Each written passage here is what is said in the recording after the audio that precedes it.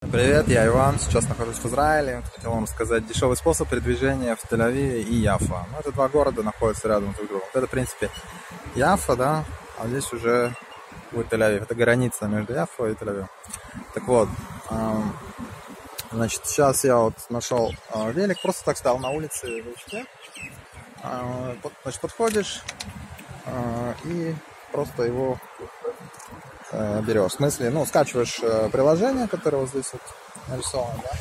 Скачал приложение, зашел, установил, заплатил 20 шекелей, это получается за 4 часа практически, 4,5, ой, извиняюсь, за 2,5 часа. А час стоит где-то 4 шекеля. И получается, сейчас я буду им пользоваться. Вот все, в принципе. А машины сегодня не ходят, сегодня праздник. В Израиле некоторые праздники ничего не работает. Поэтому лучше всего использовать велосипеды. Вон там еще один стоит далеко. Оранжевый велосипед. Ну, в принципе, и все.